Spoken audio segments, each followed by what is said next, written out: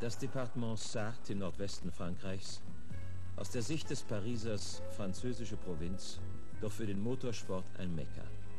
Dies ist die Heimat des 24-Stunden-Rennens von Le Mans, ausgetragen zum 44. Mal auf der 13,6 Kilometer langen Hochgeschwindigkeitspiste mit der charakteristischen motorenmordenden Geraden von Unaudière.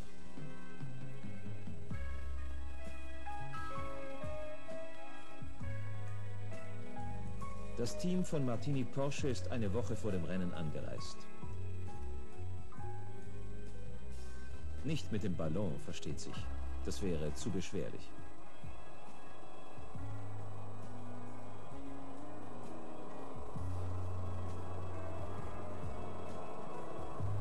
Auf dem Stundenplan der Fahrer steht vorerst Entspannung. Das Tennisfinale bestreiten Rolf Stommelen und Rennleiter Janke. Manfred Schurti glänzt eher als Balljung.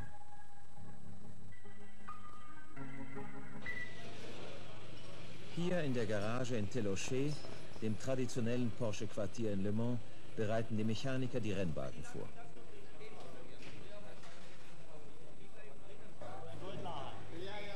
Der Countdown für das Rennen beginnt am Freitag mit der Fahrerbesprechung. Jackie X, Geis van Lennep, Manfred Schurti, Jürgen Barth, Reinhold Jöst, Rennleiter Janke, Renningenieur Singer und Rolf Stommelen besprechen die Rennstrategie. Von 9 Uhr bis 4.40 Uhr, so wie es hier steht, muss mit Licht gefahren werden. Ein Schnellkursus in Pannenselbsthilfe rundet die Instruktionen für die Fahrer ab. Gibt es ja keine Möglichkeit. so gut es geht. Manfred, du kannst ja, nicht verstehen. kannst ja reden. Du kannst, nein, du hast ein Mikrofon im Auto, du kannst sagen, ich, äh, wenn, du, wenn du reinrollst, von der, von der, von der Schikane her, bleib sitzen, äh, bleib sitzen oder wechsel oder wir sollen nicht so viel Strategie machen, sondern so schnell fahren, wie das Auto mag, das dass uns nicht wehtut. Ja, und das Gruppe 5 Auto, Herr Singer, wie schnell sollte das fahren? Was glauben Sie, wo kann der? 5, 5? Uns dann auch in der Gegend auf von dem Mirage.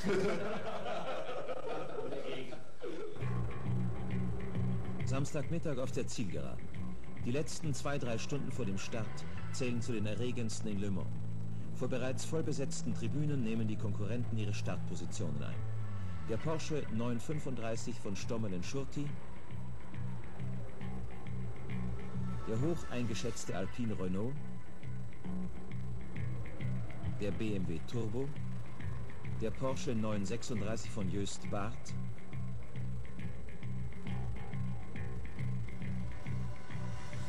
Sogar amerikanische Stockcars sind erstmals dabei.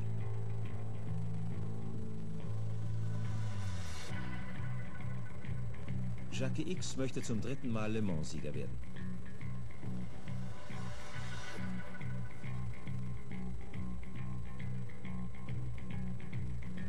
Auf Porsche sind seine Chancen natürlich besser denn je.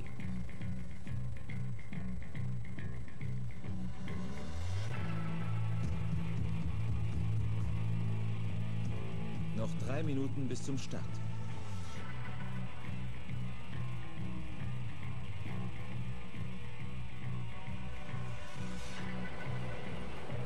Und dann gehen sie in die mörderische Materialschlacht.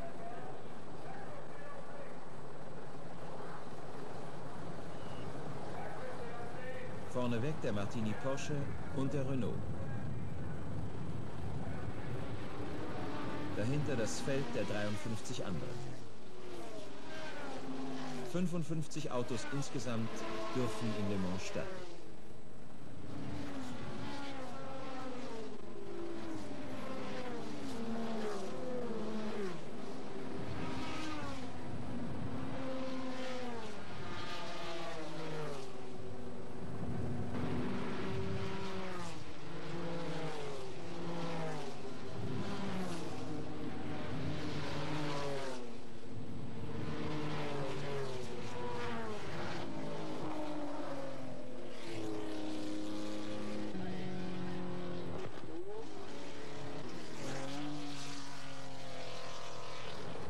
Zur Freude des französischen Publikums nimmt der Renault von Jabouille die Spitze.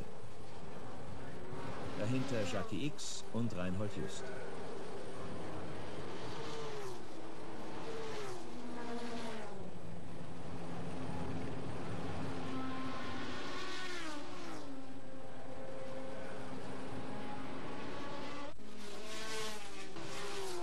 Doch die Freude währt nicht lange. Nach knapp 20 Rennminuten übernimmt Jackie X das Kommando. Wird er die Spitze während der nächsten 24 Stunden halten können?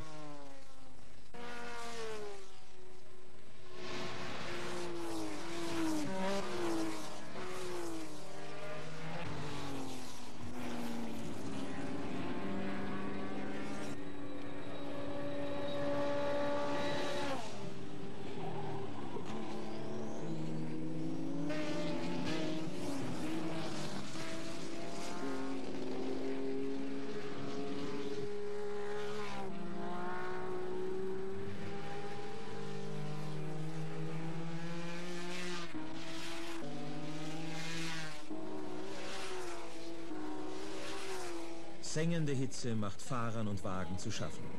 Die Außentemperatur liegt über 35 Grad, im Wagen sind es über 50.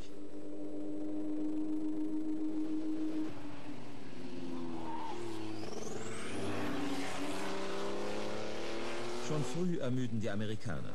Der erste Stockcar muss aufgeben und die bullige Corvette raucht bedenklich.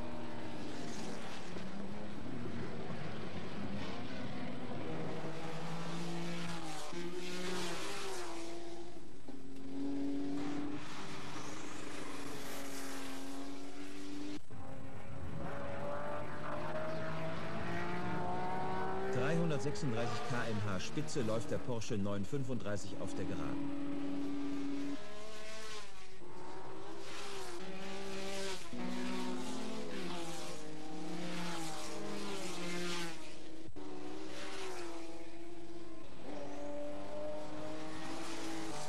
Rauch kündigt auch für den Turbo BMW das nahe Ende. Er hielt eineinhalb Stunden.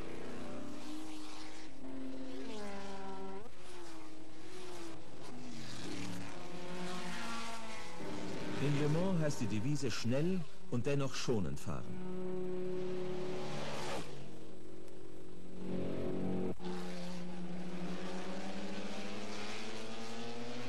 Solche Schlenker tun dem Auto unnötig weh.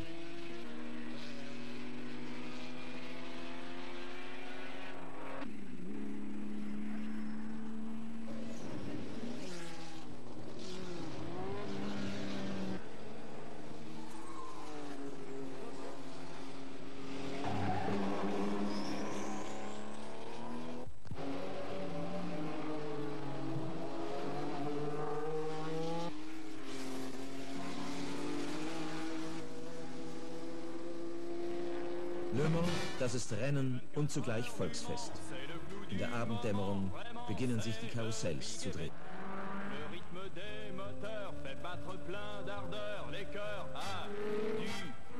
Aber in der Porsche-Box dreht sich alles um das Rennen. Auch für Graf Gregorio Rossi und seine Frau. Mit der Nacht kommt etwas Gespenstisches über Le Mans. Für die Fahrer ist die Nachtschicht doppelt anstrengend. Zum Glück regnet es nicht.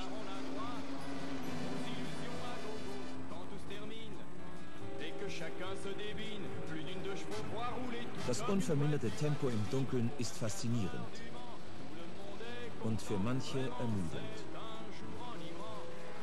Mit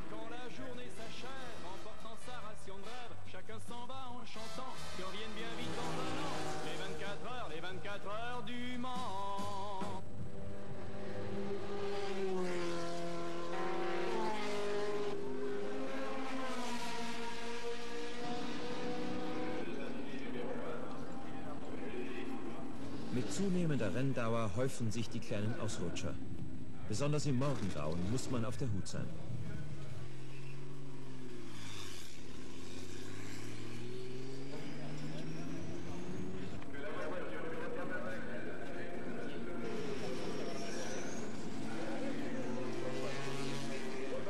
Die Martini Porsche sind noch gut in Form. Stommel und Schurti sind Dritte.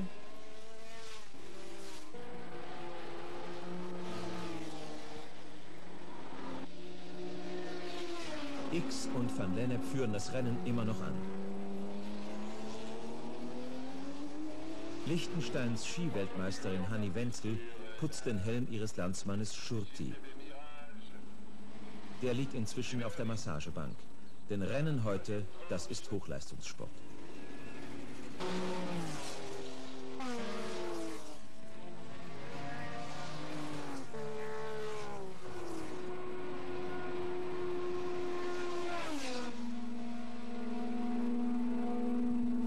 Sonntags um 11 wird es plötzlich dramatisch für Porsche. Auspuffbruch am führenden 936, mangelnder Benzindruck am jetzt viertplatzierten 935.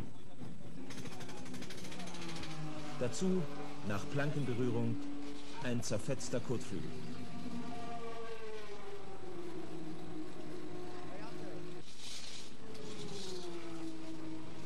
Ergeben sitzt Jackie X die Reparaturzeit im Cockpit ab. 34 Minuten. Fieberhafter Einsatz und natürlich große Ungeduld im Porsche-Team.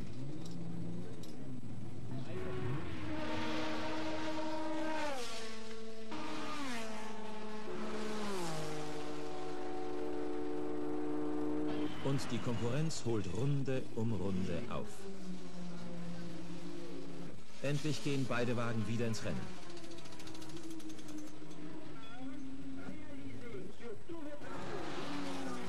Und trotz Boxenhalt führt der Martini Porsche von X van Lennep immer noch.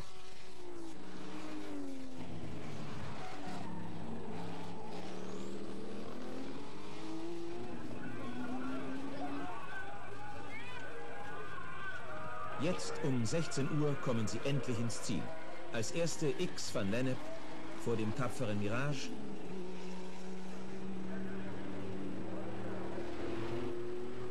Stommel und Schurti als Vierte.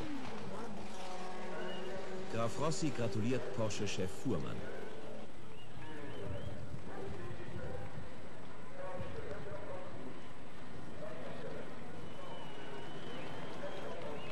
Die tüchtigen Porsche-Mechaniker mit ihrem Siegerwagen.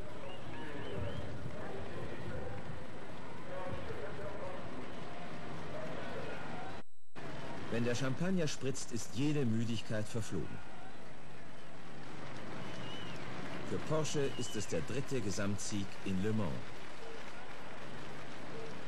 Erkämpft durch Jackie X und Geis van Lennep. Gischt von sofort an die Spitze. Dicht dahinter Willi Kausen und der BRM von Howden Gainley.